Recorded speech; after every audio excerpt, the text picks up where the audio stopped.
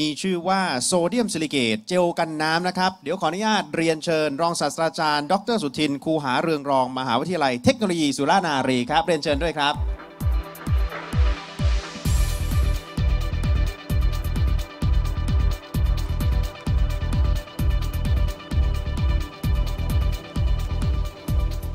สวัสดีค่ะ ท่านผู้มีเกียรติทุกท่านคำว่าซิลิเกตเจลสำคัญอย่างไร และทำไมเราต้องมาเข้าใจ ถึงเจ้าเจลตัวนี้นะคะ ขออนุญาตเล่าที่มาหนึ่งเมื่อประมาณ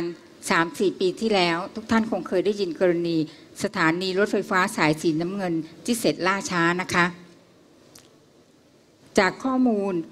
ของ Con Magazine ได้ให้บทสัมภาษณ์ของผู้ช่วยกรรมการผู้จัดการบริษัทก่อสร้างแห่งหนึ่ง ซึ่งกล่าวถึงสาเหตุที่ล่าช้านี้ว่า บริเวณสภาพสภาพดินบริเวณสถานีสนามชัย มีน้ำซึมเข้ามาในบริเวณก่อสร้างเป็นจำนวนมาก ส่งผลทำให้การสูบน้ำออกทำไม่ทัน เมื่อเทียบกับปริมาณน้ำที่ไหลเข้ามา จึงทำให้ต้องจึงทำให้ต้องการเปลี่ยนวิธีการ มาใช้วิธีที่เรียกว่าgrout blanket เพราะว่าถ้ายังขืนสูบน้ำออกต่อไปอีก จะทำให้สภาพดินบริเวณนั้นทรุดตัวลง และอาคารโดยรอบ ถล่มลงมาได้จึงได้จ้างชาวไต้หวันมาฉีดสารเคมี ซึ่งสารเคมีตัวนี้ก็คือเจลกันน้ำนั่นเอง และส่งผลทำให้บริษัทก่อสร้างแห่งนั้นต้องของบประมาณจากค่าก่อสร้างเพิ่มจากรอฟอร์มออีกเป็นจำนวนเงิน 290 ล้านบาท ในขณะที่อีกบริษัทก่อสร้างอีกแห่งหนึ่ง ก็ประสบปัญหาเช่นเดียวกัน ที่สถานีวังบุรพา มีน้ำซึมเข้ามาเป็นจำนวนมาก และต้องการใช้เจลฉีด แต่เคสนี้ รอฟมยืนยันไม่จ่ายเพิ่มให้ ส่งผลทำให้สตงสั่งรอฟมทบทวน การเพิ่มเงินให้บริษัทแรกถึงจำนวนเงิน 290 ล้านบาท แล้วยังยืดเวลาการก่อสร้างให้อีก 90 วัน เพราะว่าตามหลักการแล้วถ้าเกิดบริษัทก่อสร้างไม่สามารถทำสำเร็จได้ตามที่ตกลงเซ็นสัญญากันไว้ จะต้องถูกปรับวันละเจ็ดล้านบาทนะครับ อันนี้เป็น ภาพจำลองที่แสดงให้เห็นว่าถ้าเกิดมีน้ำเข้ามาในบริเวณก่อสร้าง ก็จะทำให้ขุดและก่อสร้างเป็นไปได้ยากลำบาก อันนี้จะแสดงให้เห็นถึงว่า ถ้าเราต้องการสร้างอาคารใต้ดิน เราก็จะขุดเจาะลงไป แล้วก็ฉีดสารเคมี ซึ่งจะเป็นเจลรอบบริเวณพื้นที่ที่เราต้องการสร้างอาคาร และเจลนี้เมื่อแข็งตัว ก็จะกันน้ำไม่ให้ซึมเข้าไปในบริเวณที่เราก่อสร้างทำให้เราสร้างอาคารชั้นใต้ดินได้ ผู้ลงทุนควรเป็นใครบริษัทผู้รับเหมาก่อสร้าง เพราะจะทำให้ต้นทุนก่อสร้างต่ำลงทำได้เองไม่ต้องจ้างชาวต่างชาติ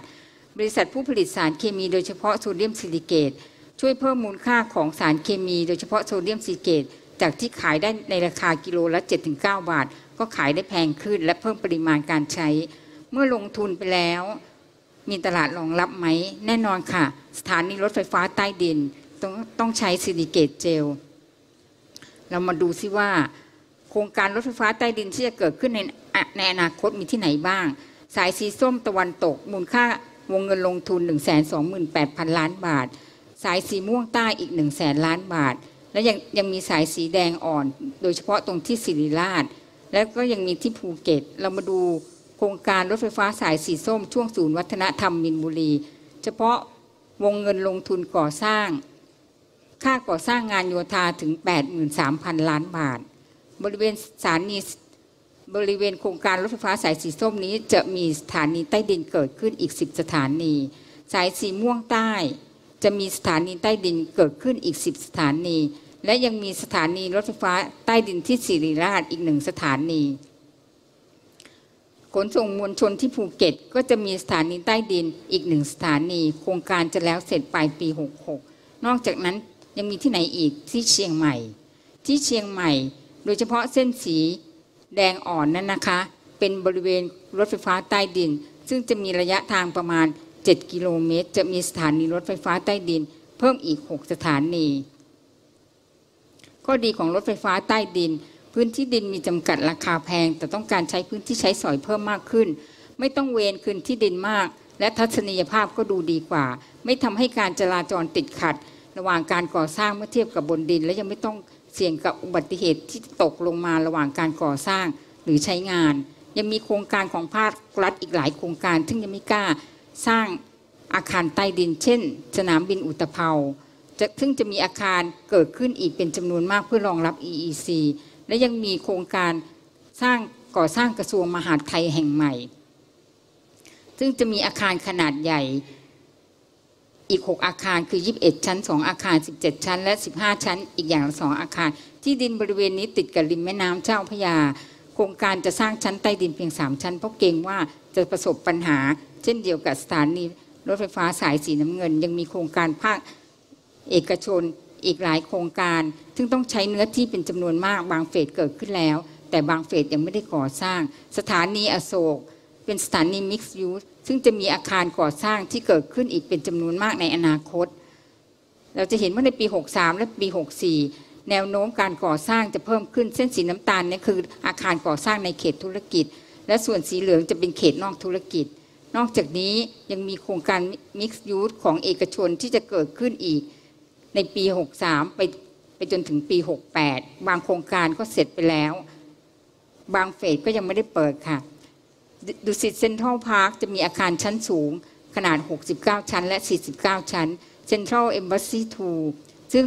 กลุ่มเซ็นทรัลชนะประมูลที่ดินตรงบริเวณสถานทูตสหราชอาณาจักร เป็นจำนวนเงินถึง 19,000 ล้านบาท หรือคิดเป็นที่ดินในราคาตารางวาละตารางวาละ2ล้าน2แสนบาท อยากให้โครงการเหล่านี้ได้พิจารณาการใช้ซิลิเกตเจล เพราะจะทำให้โครงการสามารถสร้างสร้างอาคารชั้นใต้ดินลึกลงไปจากพื้นดินได้ถึง 30 เมตร ความได้เปรียบทางการแข่งขันนะคะ ต้นทุนที่ต่ำลงใช้วัตถุดิบหลัก โดยเฉพาะโซเดียมซิลิเกตได้เองภายในประเทศ คนไทยทำได้เองไม่ต้องพึ่งชาวไต้หวัน นอกจากนี้ประหยัดงบประมาณการลงทุนถูกกว่า cement groutingและสุดท้ายคือมีพื้นที่ใช้สอยได้อย่างเต็มที่ อันนี้คือทีมงานค่ะ ขอบคุณมากค่ะ ขอขอบพระคุณดรสุทินนะครับ เป็นซิลิเกตเจลนะครับ ซึ่งเป็นเจลกันน้ำน่าสนใจมากเลยสำหรับผู้รับเหมานะครับ